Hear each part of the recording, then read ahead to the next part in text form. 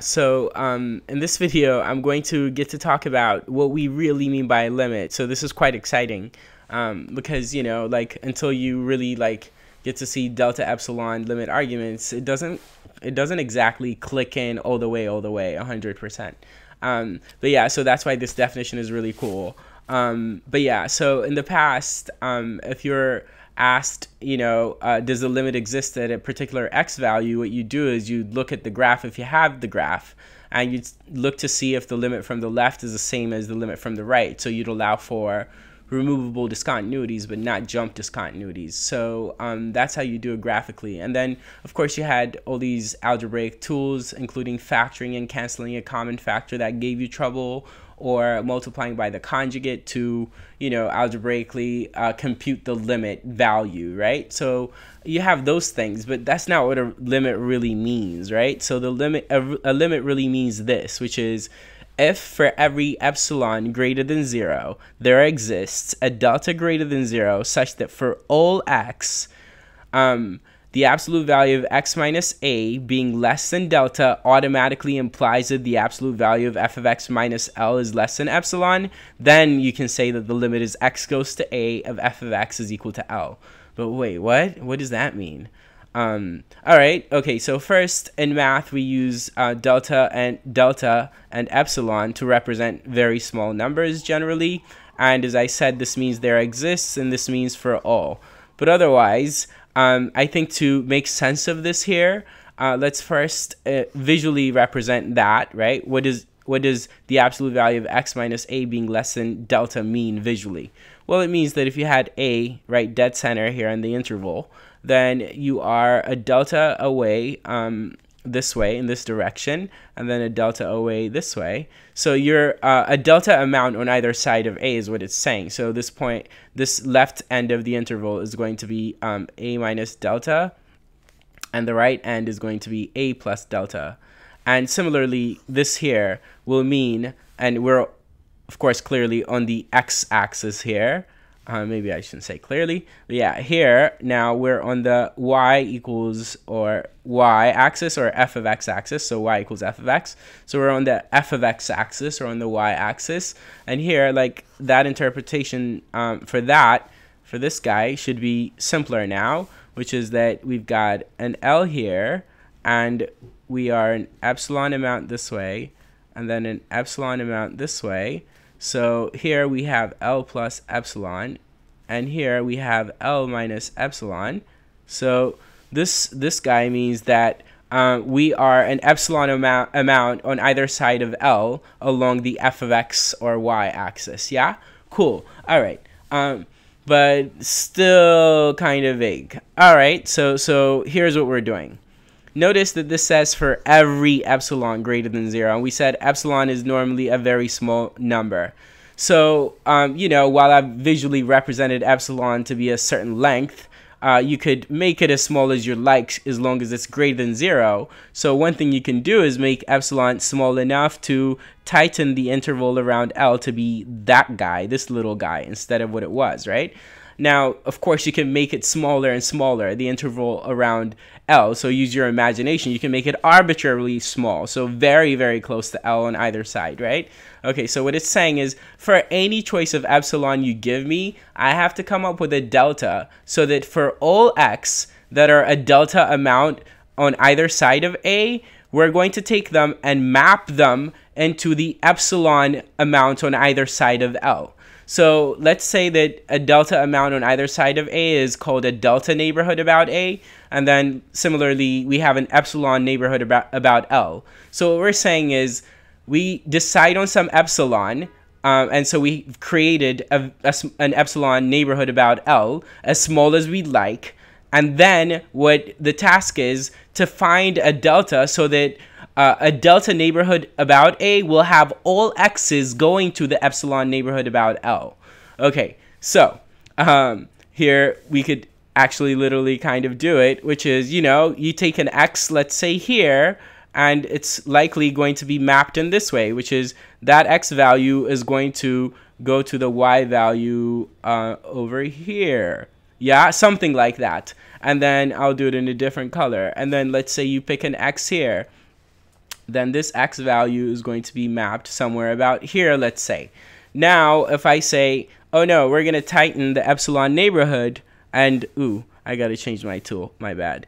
And we say that the epsilon neighborhood is now tight enough to be this, then you have to find a delta so that the delta neighborhood about A will be small enough um, so that all x's in that uh, delta neighborhood um, about A, uh, let's say this x is going to go to uh, this now narrower epsilon neighborhood about L. So if you could do this for any epsilon, imagine tightening the epsilon neighborhood about L to be super, super small, as small as you can imagine then if I am able to then find an, delta neighborhood about A that's like smaller, smaller, um, so that all x's uh, in that delta neighborhood are mapped to that super small epsilon neighborhood, and I could do this for any epsilon, then it must be true that the limit is I go to A along x is L um, along y or f of x. Yeah? Cool. So that's what that means. Now, I'll still, if this is not good enough,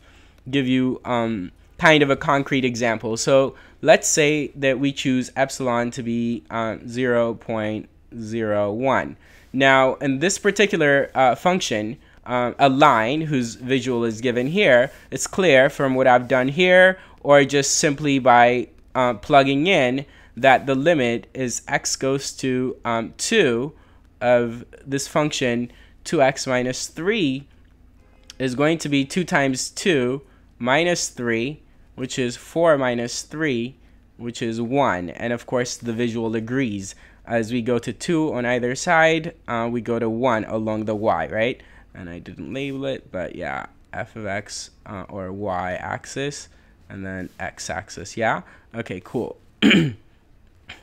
so now we've said let epsilon be 0.01. So since L in this case is 1, right? The limit L is 1, the limit value uh, in deciding epsilon is this amount, we're saying let's tighten our epsilon neighborhood and make it go from um, make it go from uh, 0, 0.0 sorry, sorry 0 0.99 I'm poor at arithmetic so check that 1 minus 0 0.01 is 0 0.99 but I think it is. Uh, so the interval now is from 0 0.99 to uh, 1.01 this one is a bit easier.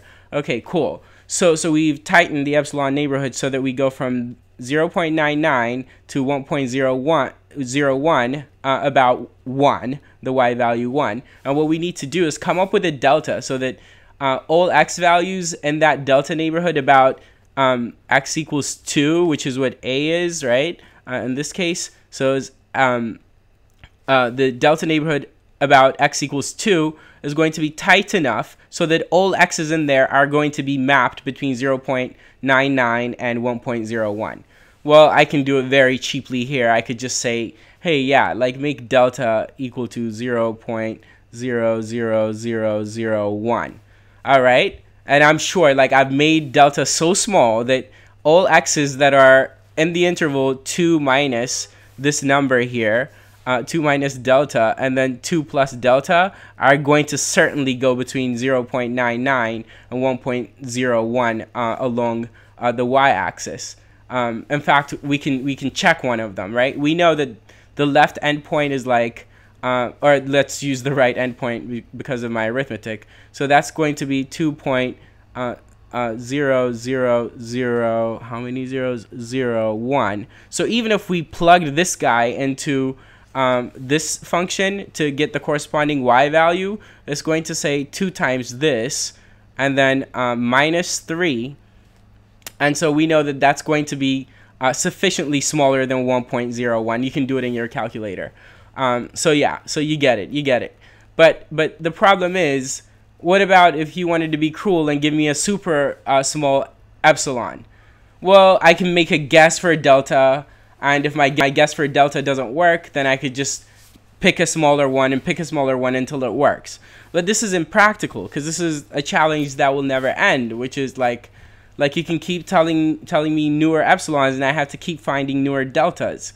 So instead of doing that, what we do is create a generic relationship between delta and epsilon. So a way to relate delta and epsilon so that I could just say, hey, for every epsilon you give me, uh, this is the expression for delta, and it's related to epsilon in this way. So it's like cut epsilon in half, or cut it by 10 and it will always work. So we want to create that kind of a relationship. So that's how you actually go about proving limits for um, functions and that's what I'm going to do here, which is give you um, that particular example and the case that um, the function is 2x minus 3. Um, so in videos to come, what I'm about to do next is what you'll see in the examples because this is how you really prove that um, a particular function has a certain limit. So we're going to do it uh, to prove that the limit is x goes to 2 of 2x minus 3 is equal to 1. So to prove this using this delta epsilon argument, this is kind of a hypothesis. It's not kind of, it is a hypothesis. So you could just ignore it. You don't have to rewrite it when you're writing the proof. But this is the proof of this limit. So we say proof. Okay, cool. So we start with this, which is we know that um, x minus 2 being less than delta needs to automatically imply uh, that we have um, 2x uh, minus 3, which is f of x, minus 1, which is minus L, is less than epsilon. We know we need this. Okay, cool. So let's manipulate this guy, and that's what you have to often do uh, for these kind of proofs. So uh, first, notice that we can write this more succinctly as um, 2x minus 4 is less than epsilon. And then next, notice we can take out a 2 and write 2 times x minus 2 is less than epsilon. And then next we write absolute value of x minus 2 is less than epsilon over 2. But wait, this is nice, and we were happy the minute we saw that expression anyway, because it's uh, a part of the delta expression. So now, since this is very similar to this, we can decide very easily that we should choose delta to be epsilon over 2 all the time. Um, and if we did, then uh, then we would always have that whenever x minus 2 is less than delta, f of x minus L is less than epsilon. You want to check? All right, let's do it. Let's check. Check is um, we have uh, that x minus 2 is less than delta. And we want to imply that um, uh, 2x um, minus, uh, 3 minus 1 is less than epsilon, which is we want to imply f of x minus L is less than epsilon.